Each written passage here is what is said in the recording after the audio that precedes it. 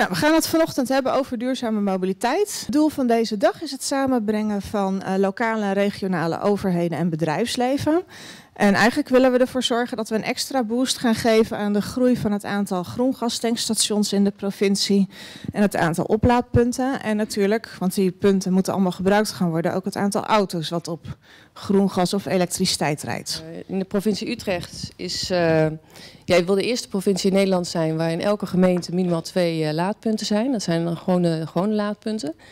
dus minimaal twee, het liefst meer. Nou, dat is echt heel goed om te zien dat gemeentes dat ook echt, uh, dat jullie dat allemaal opgepakt hebben. En, uh, ja, en daar goed, zo goed mee bezig zijn. Ook, ik neem ook deel aan die toename van verkeersdrukte.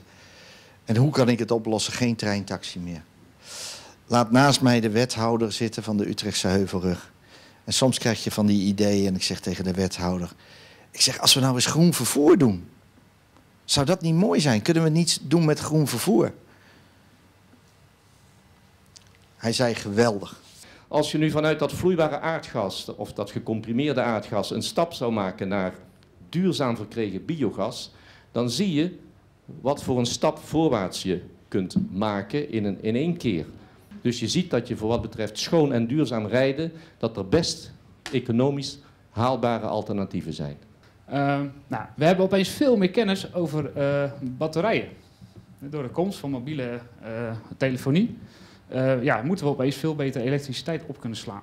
Nou, die ontwikkeling helpt nu opeens mee dat wij auto's uh, veel beter en wat langer op uh, elektriciteit kunnen laten rijden. Ja, voor mij is het heel belangrijk om te weten hoe precies de infrastructuur uitgebreid kan worden van groen gas. Want dat zie ik nog als grootste knelpunt voor als het naar de consumentenmarkt gebracht zou moeten worden. Ik ben zelf bezig met groen gas. Maar het elektrisch rijden uh, en andere mogelijkheden van duurzame brandstoffen, uh, die zijn ook interessant en daar wil ik graag meer over weten. En dat is de reden dat ik deze workshops hier bezoek.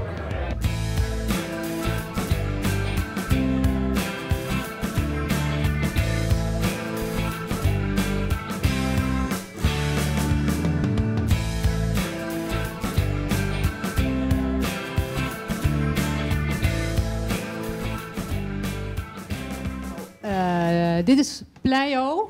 Het is een, uh, een applicatie wat uh, geïnitieerd is door Binnenlandse Zaken en de Belastingdienst. En het doel ervan is dat een ieder op zijn of op je eigen manier aan de slag kan gaan met het vergroten van het gebruik van een auto op groen gas of een auto op elektriciteit. Hoe pak je dat nou aan?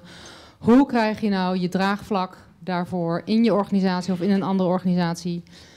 Om dat voor elkaar te krijgen. Met name een stukje kennisuitwisseling, ontmoeten van partijen. Uh, wat gebeurt er allemaal, wat speelt er allemaal, wie doet wat. Um, en ik denk dat deze bijeenkomst daar uh, behoorlijk wat inzicht in heeft gegeven. Nou, we hebben inmiddels met het uh, programma Elektrisch Rijden al een jaar ervaring. Nou, dat heeft nog lang niet iedereen, dus dat kom ik hier in ieder geval brengen. Ik ben vandaag zelf ook met een elektrische auto gekomen. Daarmee laten we zien dat het kan.